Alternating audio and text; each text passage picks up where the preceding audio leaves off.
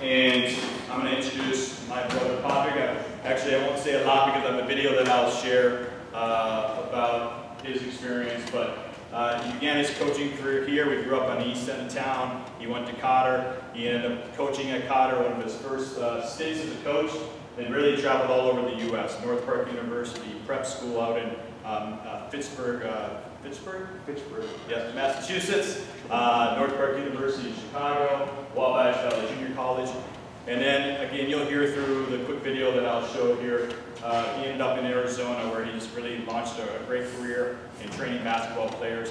But I'm, I'm kind of asking him to speak about the current landscape of youth sports and what it looks like, especially from a club standpoint. I know we, some of us have kids here who are involved in those programs. I think all these things have a place, but how can we kind of blend them together to have a great experience for our kids? So uh, he's had some recent success. One of his players got drafted the other night, Jalen Williams, who got drafted number 12 in Oklahoma City draft. And so that was a pretty cool event for him to be a part of, and he'll sure share a little bit about that. Uh, we'll take a look at a quick video that they actually did about, this video is more about Jalen's brother Cody, who will be a senior next year, and is one of the top recruits in the country. So, um, but you'll see a little bit, and Padre will kind of introduce himself in the video. Shout out, shout out Jalen Williams. Shout out first again as well. Uh, we'll get your first one. No, this is actually no. Hi, I'm, I'm Patrick O'Brien. I'm trainer for Give and Go Hoops. I've been with Cody and Jalen for about the last seven years. Out here 17 years ago when the Phoenix Suns drafted one of my players, a kid named Jackson Vroman. He was a, a second round pick who got traded from the Bulls to, to Phoenix. And uh, I stayed here, I, I came out here with him, and then about six months into, the, into being here, he got traded to Oklahoma. And I stayed out here, and then when he and a few other players came back into town, that's when this whole training thing started. It started with Amar'e Stoudemire, uh, Jerryd Bayless, Jake Voskuhl, Jackson Vroman, Maciej Lampe, uh, Matt Carlino. Uh, there were a bunch of young players here at the time, and not much of a not much of a structured scene. Years ago, I can't remember. Maybe I think Cody was in sixth grade. We uh, we decided that Give and Go wasn't going to be just training. That when we had the right group of kids, we were going to have youth teams. So uh, Todd Delano, Vincent Delano's father, put together a sixth grade team for Vincent, and Cody showed up. And after the first day, I went to Todd and told him, I think this is what it's like to get Tracy McGrady in sixth grade. he started coming, he just started hanging around practices. There would be times when maybe there was a game going on and there'd be an extra court and I'd grab him and we'd start working out. And then eventually when he got his license, really is when it happened, when he, was able to drive from Chandler to come over here to Scottsdale for our workouts. That's when it really started. So I guess maybe he might have been a sophomore or junior, maybe when we started with him. And then he and Cody hopped in my college pro group, which is the longest running uh, summer group in the state. We made this going on our 17th year. He, you know, Jalen got invited his senior year, going into his freshman year in college, and Cody just kind of sneaked, stuck in, and just just kept coming. And now he'll be one of the best members of our group that's loaded with, you know, probably 15, 20 pros.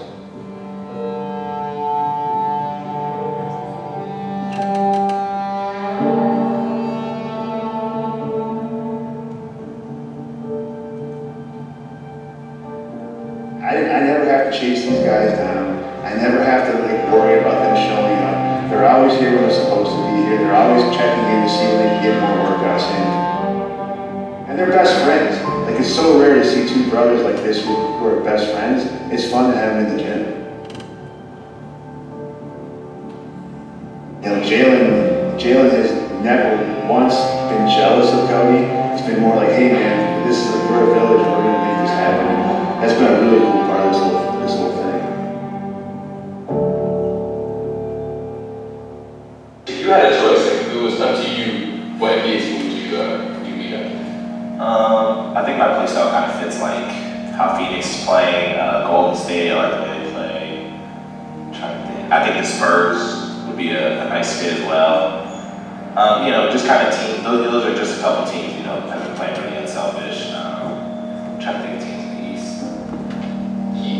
Yeah, the Heat. I do like the way the Heat playing this year. Just you know, kind of teams that are really unselfish and kind of. You know, I'm not gonna say without the ball, but they're really team oriented and stuff like that. You know, they're obviously good programs as well. Williams, like your last like, what does that mean to be a Williams? Um, I would just say our determination. You know, obviously, like I said, I wasn't highly touted in any way coming up, and then you know, kind of receiving the variety that I am now is dope. And then he's getting a little faster, but kind of the same thing. You know, everybody's kind of looking at him, oh, he's short, he's you know, he's good, but he's this or that, and you know, now he's kind of receiving that that glory as well. So I, I would just say our determination, you know, high school two-ness. Um, Shut up. So I, I like, uh, the reason I wanted to put that part of the clip in, I remember my high school football coach, Jeff Conway, he'd always ask us like, how do we want to be remembered? Like, what do we want our last name to represent? Like when we go on the field and compete, so I thought that was kind of a cool piece, so. Uh, Padre's gonna come up, uh, welcome him to the stage here.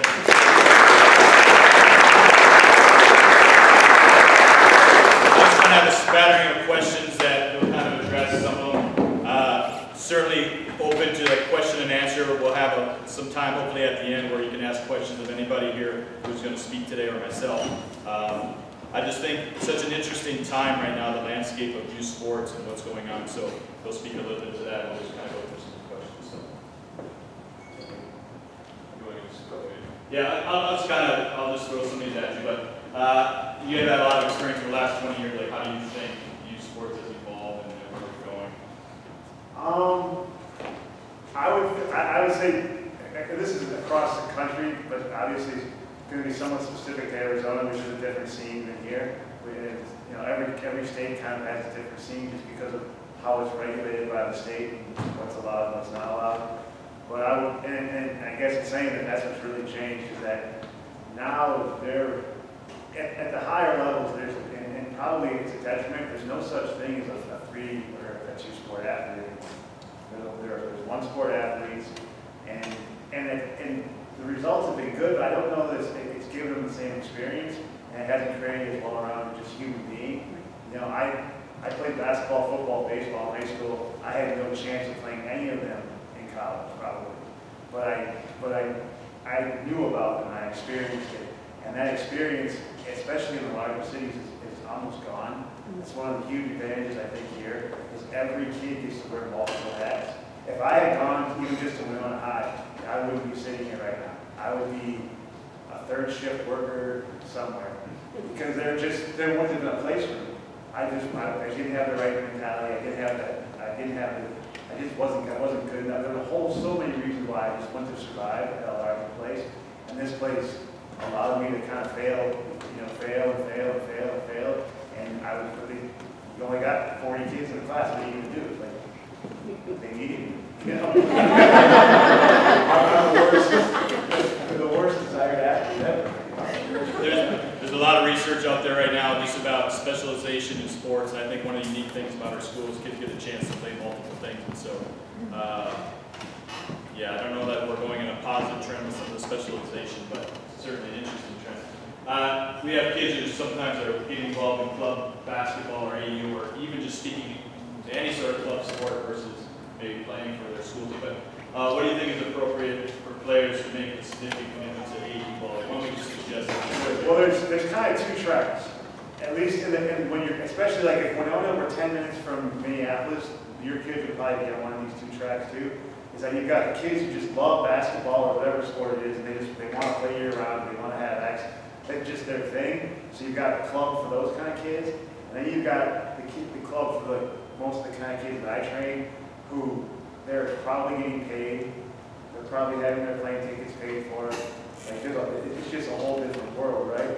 And that, they're both of equal value, because with the, with the small, with the, with the kids who just love basketball, it's, it's, it's taken care of, or it's, it's, um, it's giving them something that they're really looking for and searching for.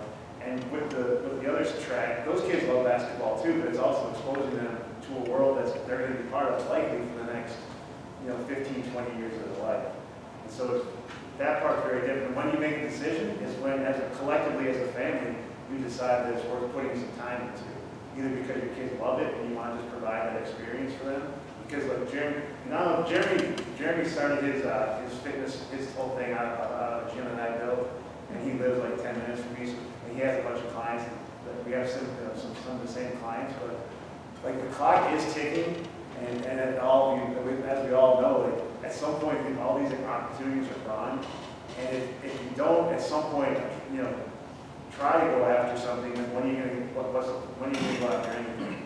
And so if your kids love it, and you're, you have, because it is, the other thing, I don't know what it costs out here, but, I mean, how you talk, even just volleyball back home, you know, back where I'm from, it's, it's a three thousand dollars every three months kind of thing.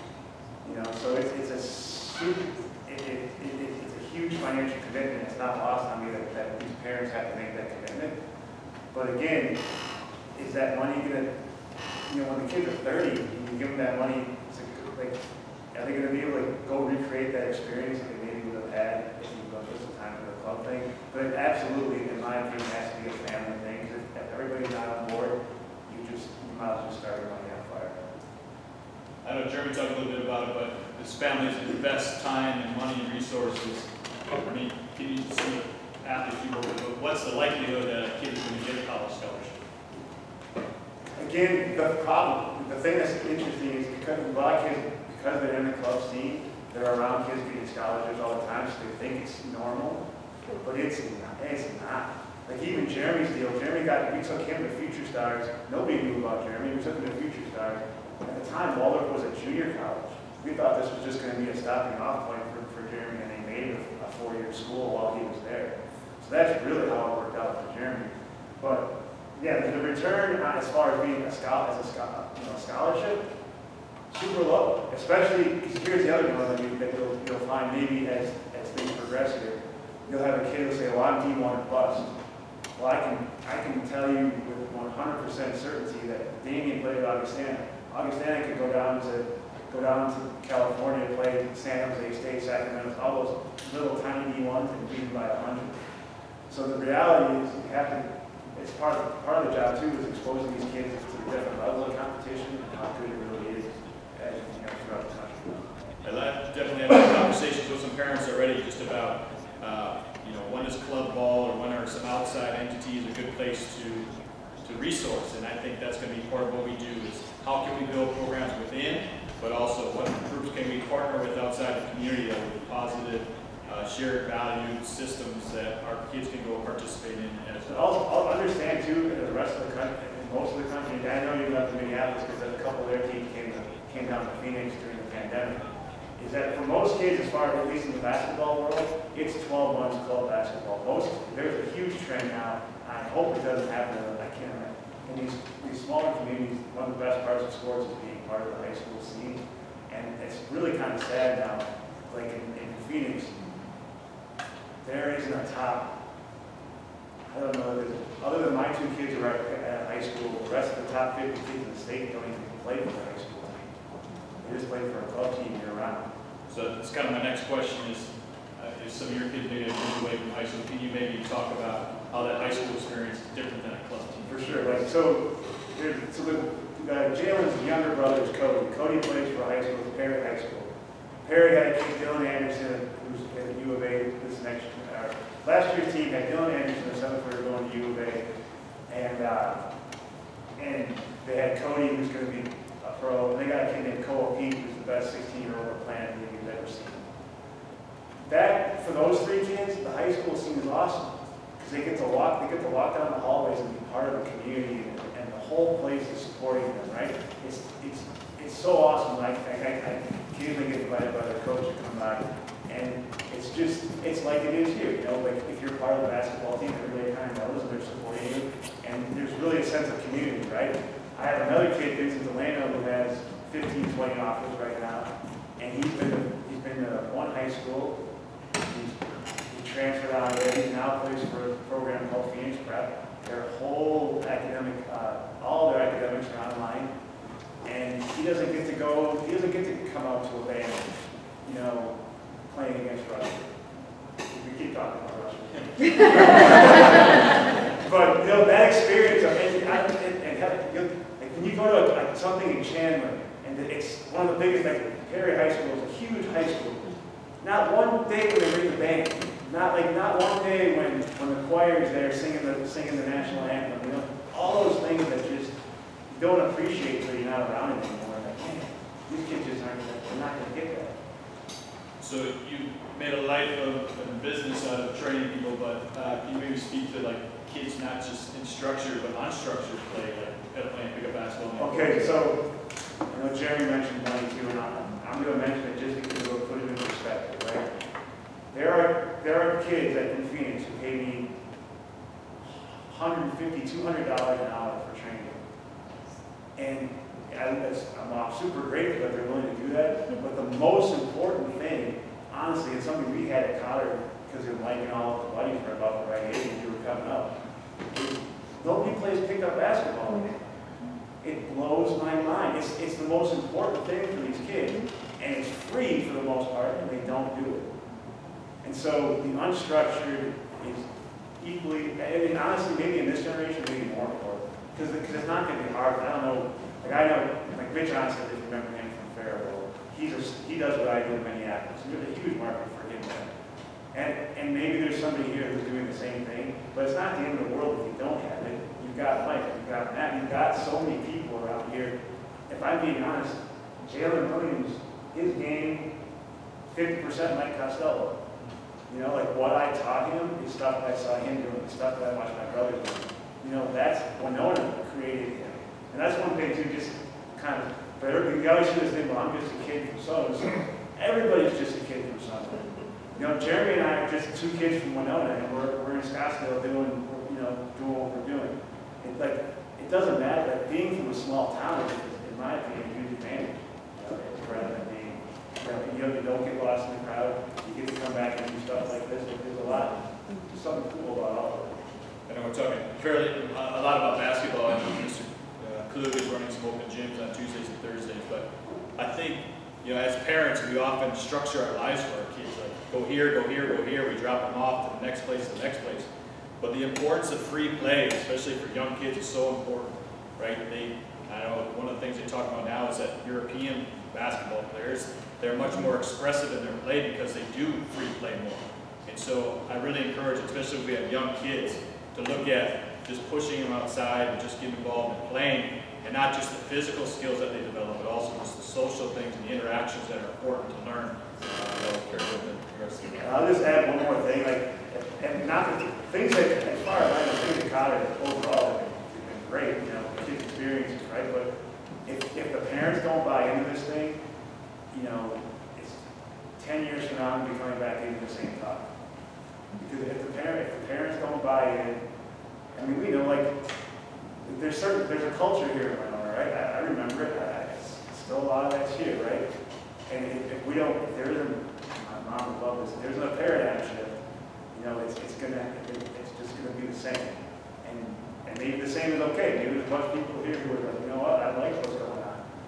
But if your kids are going all out for this thing, at, at, at nineteen, or eight, seventeen, eighteen years old, all they have to really go all out. So why not provide the opportunity, right, and, and see where it takes them. Uh, if you have questions about like club sports and some of the environment, but we'll have a question and answer towards the end. But one of the takeaways that I'm going to present to the kids is like, not just in sport, but are the habits you have today on par with the dreams you have for tomorrow, right? Your life is about habits. Who you are now is a result of the habits, the habits I've created. So how can we instill in the kids, right? Where do you want to go? What are you doing today to get to that point? Right? These habits are going to be really important. So uh, I'll bring back up later for some questions. Thank you. Mike.